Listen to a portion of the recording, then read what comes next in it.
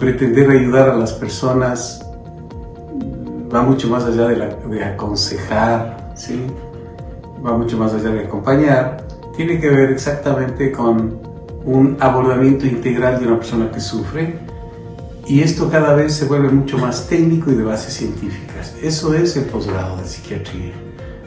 Queremos nosotros tener profesionales del más alto nivel en salud mental, como médicos y como psiquiatras, para aportar a la sociedad en el sentido más profesional y de mejor calidad posible.